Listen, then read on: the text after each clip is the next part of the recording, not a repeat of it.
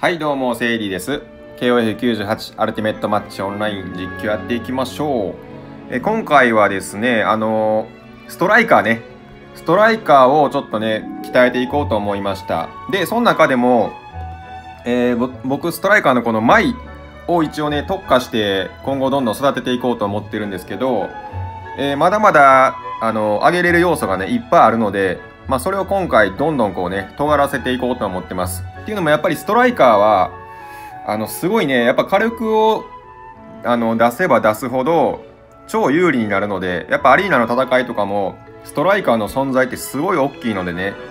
まあその中でもこの SR の舞とかは結構育てやすい方のキャラなので、まあ、できることならもっともっと強化してあのどんどんね火力を出していきたいと思ってるんですけどまあ、それを今回ちょっと、えっと、できるとこまでやってみようかなと思って、まあ、ストライカーの、えー、マイですね。マイ強化計画 みたいな回にしようと思ってます。で、ストライカーの軽く出せるポイントとしては、えー、まずこの攻撃力と、あとはダメージ増加率と、えー、クリティカル率か、主にその3点やと思うんですけど、まあ、それ以外にも、あの、技能書の効果とか、そういうのもかなり関わってきます。でもちろんこの能力もあの火力に、ま、もろに影響してくるんですけど僕はまだ実はね黄色3まで上げれてなくてあの春英を入れたぐらいから舞をね使い出したんですよ。でそれまではレオナとか使っててやっぱこのストライカーの高級、えー、高級魂かそれがちょっと足りなくて、えー、限界までフルマックスまでは上げれてないんですけどもう少しで上げれるんですけどね今140枚ぐらい破片があってほんまあと少しなんですけど今回はちょっと、えー、マックスまでは上げれてません。で技能書がこんな感じ、えっと、1番枠がクリティカル率が25.8%増加。で2番枠はこれバフの技能書なんでこれは火力には影響しないですね。で3番枠が攻撃型へのダメージが36%増加。これが新技能書の方です、まあ、こんな感じでこの、まあ、主に1番枠と3番枠が火力に影響すると思います。で今えー、っとダメージ増加率が37.42%でクリティカル率が36.42%で攻撃力が1万5700え違う違うえっと15万7154か。今の感じではこんな感じなんですけどまあこれを今回、まあ、どこまで上げれるのかっていう。んで火力が、えっと、どれぐらい変わるのかっていうのもちょっと検証していこうかなって思いました。じゃあ早速この舞ちゃんをどんどんね強化していきたいと思います。で、えー、まあ、この動画撮るに撮るにあたってね進めてたことがあってこれです。なんと舞のね指紋を解放今からしようと思ってます。やっぱこの指紋っていうのがすごいあのステータスアップにつながるんじゃないかと思ってねずっとこうせこせこせこせこやってたんですけど本当に日数かかったんですけどね。まあしんどいですね指紋。僕初めてやったんですけどもう嫌ですね もうやりたくない。ただ、まあ、ストライカー前はね、多分、今後もずっと使うやろうっていうのを考慮して、まあ、指紋を開けたんですけど、開けたというか、ここまで行ったんですけど、じゃあ早速ね、これを今回、えー、指紋の方をね、開放していきたいと思います。だから指紋がどれだけ上げ上がるのかっていう検証にもなるので、えー、まあ参考になればと思います。で、まず、まあ、ただで指紋を上げても面白くないので、えっと、指紋っていうのはおそらく、あの、基礎ステータスがグンって伸びる感じやと思うので、まずですね、この能力をまず1段階上げようと思ってます。今これ貯めてたんですよね、前のために。えっと、強化薬やっと4000個貯まったんで、えー、まあ、この能力を赤1にね、しようかなと思ってます。うん。じゃあ早速行きましょうか。えっと、あ、宝石が足りないんでちょっとね、これ変えてきますね。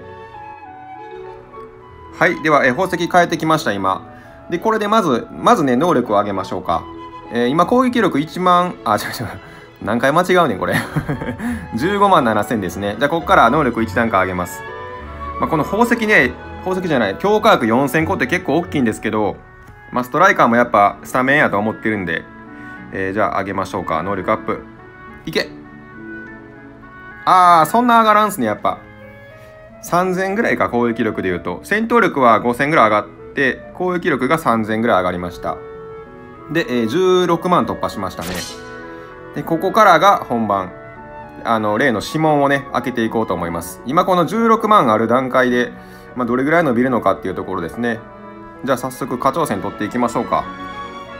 えー、っと、課長線、課長線。もうこの装備破片はね、ほぼほぼ前のこの課長線で消えましたね。えっと、これね、間違いないね。よし、取りました。で、前育てる前はね、あの、この課長線も星1やったんですけど、もうね、特化しよう思って、課長線5個取りました。で、今回また取ったんで6個目かな。6個目7個ぐらい取ってるですね。まあまあ全然いいんですけど、それは。じゃあこれ早速いきましょうか。初めての指紋です。じゃあ、えー、ちょっとおさらいとして、えー、攻撃力が16万ちょいですね。戦闘力が25万からどれだけ上げ上がるのかっていうところです。じゃあ早速指紋を解放しました。初指紋。うんいいですね。SR から SR プラスになりましたね。おおでえっとこのランクが上がったことによってステータスも上がるんかな？お？おかなり上がってますね。攻撃力1万2000ぐらい上がってるぞ。おこれは大きいな。お指紋いいっすね。あの結構コスパ悪いんかなって思ってたんですけど、まあ、攻撃力1万2000も上がればまあまあまあ頑張った回はあったかなっていう、えー、気はします。いやちょっと達成感ありますねこれも。指紋解放ということで。うん。まあでも SR やからできることですよね。これ UR とか LR なんてもう本当にもう気が遠くなるんですけどやってる方も多分いると思うんですけどすごいですよね本当に。うん。って感じでちょっとね指紋を初めて解放できました。でさらにこの指紋を開けた前をねえさらにこう鍛えていこうと思うんですがちょっとここで一つ重大なことに気づいてあの先に指紋を開けてしまったんでえっと以前の攻撃力の時のストライカーのダメージのね大体どれぐらい出てるのかっていうのを取り忘れてたんですよ。やってしまいましたなのでちょっとね攻撃力を前のえっと大体15万7000ぐらいでしたよね。に戻したんで今まあ15万6000なんですけども。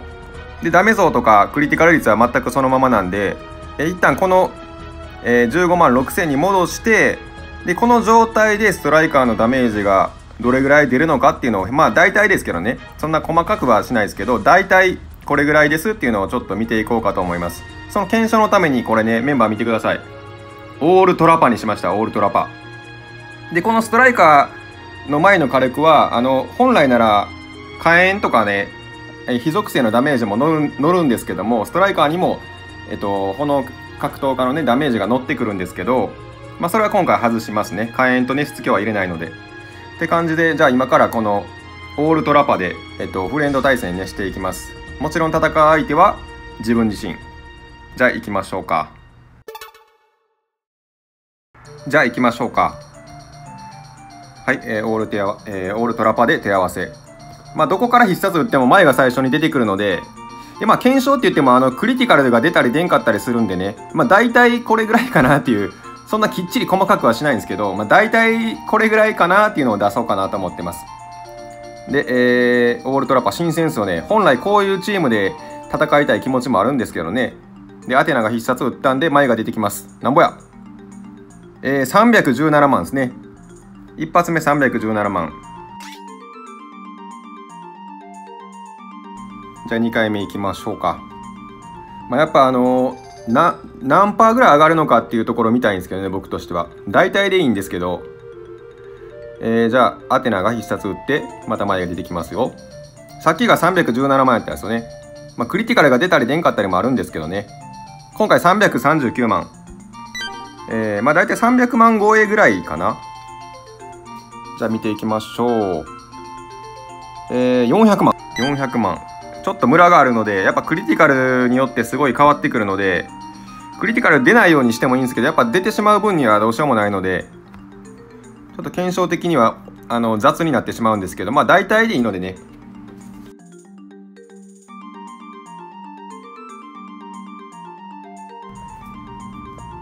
でラストいきましょうか。10回目、えー、最低が今のところ290万で最高が400万でしたね。だからまあ大体300万台っていうことですよね。大体ね。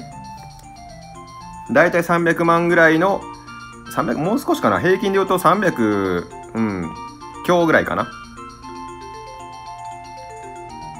で6体は全部生きてるのを確認してるので6人に当てたダメージですのでまあそこは間違いないですね10回目、えー、350万ってことで、えっ、と、まあ、平均値をちょっと計算してみますね。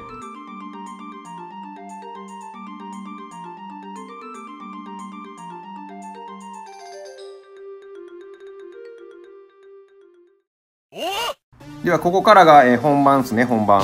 この舞がどれだけ火力を出せるのかっていうのを、えー、もう少しね底上げして検証していきたいと思います。今出した火力っていうのはあの指紋開ける前で能力もさらに1段階低かった時の、え、攻撃力が15万6000、まあ、15万7000やったんですけど大体まあこれぐらいですね。15万6000の時の火力っていうのを出しました。で次は、えー、指紋開けて能力も上げてさらにできることをねちょっとやっていこうと思います。はい、えー、やってまいりました。まあ、できることほとんど全てやった感じですね。もうコイン見ていただいたら分かるんですけど55万しかコインないですよ。で血脈をちょっといじってあとは奥義とかもねちょっと底上げしてこのバッジもネームレスくんからねついに外しました劣化バッジを1個。剥がしてこの前につけて武器とバッジはもう星5になりましたね。でえっとここの変化をちょっと見ていただきたいんですけどダメージ増加率が結構上がりましたね。血脈いじったのでダメージ増加率が5%ぐらい上がってるのかな。でクリティカル率もちょっと上がりました。今できることを大体全てやった結果がこれなんでまあ、この前で次はどんだけねダメージが出ていくのかっていうのをまた見ていきたいと思います。ではちょっとメンバー変えていきます。はい戻ってきましたよ。この、えー、オールトラパ。このオールトラパでまたねちょっと自分自身と対戦して、えー、ダメージじゃあ早速見ていきましょうか。生まれ変わった前のダメージはいかに？さっきの平均が336万やったんで、まあ、今回も10回ぐらい様子見ようかな。えー、10回やった後にどれぐらいの平均値が出るのかっていうところなんですけど、えー、攻撃力でいうと1万いや2万近く上げたんかな？2万近く上げてダメージ増加率も上げてるので結構変わってくるんじゃないかって思うんですけどどうでしょうか？初めていきます。370万。うんうんうん。割と平均よりは上って感じ一発目は。じゃあ2回目いきましょうか。さっきねマックスが400万やったんですよね。だからマックスが450万ぐらい出れば、えー、かなり変わった印象は受けるんですけど、まあ、370万やとあれですねさっきでも出てる範疇なんでまあまあまああれかなそこまで変わった感じではないっていう感じ、まあ、やっぱ500万ぐらい出てほしい気持ちはあるんですけどねこんだけ強化したんでおっとあ416万。416万はいきなりあれですねいきなりもうさっきのえっと最高を上回ってますね。さっき400万やったんで。416万2回目が。で3回目いきます。3回目。おお418万。やっぱ400万はだいたい超えてくるへあの数字になってるのかな。418割と出ましたね。じゃあ7回目見ましょうか。うん。7回目。おお !460 万出ましたよ。最大、最大が出ました。460万。460万は、まあ、クリティカルが乗りまくってたのもあるんですけど、えー、最大の数値更新しましたね。さあ、これラストの10回目になります。10回目打っていく。387これでちょっとじゃあ10回の平均をね、えー、出してみましょうか。じゃあちょっと計算していきます。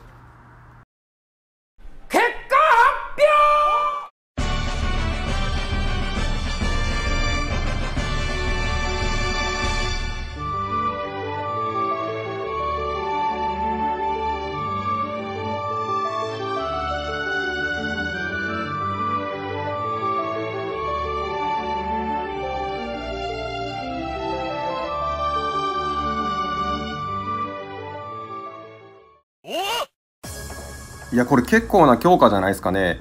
やっぱ能力1段階上げて、まあ、指紋開けたんですけど、まあの、あのダメージ20%増しっていうのは僕の中では思ってたよりでかいかな、まあ、攻撃力が2万近く上がってるのでそれぐらいの効果はまああるんでしょうけどまあ思ってるより軽く出してくれてるので良かったっすわ。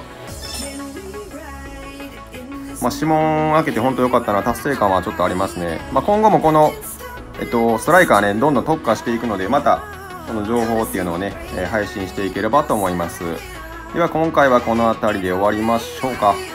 えー、動画気に入ってくれた方はぜひチャンネル登録、あと Twitter もやってますんで、よかったらフォローの方よろしくお願いします。あの、説明欄の方にリンク貼ってますんでね、よかったら見てください。では今回この辺りで終わります。ご視聴の方ありがとうございました。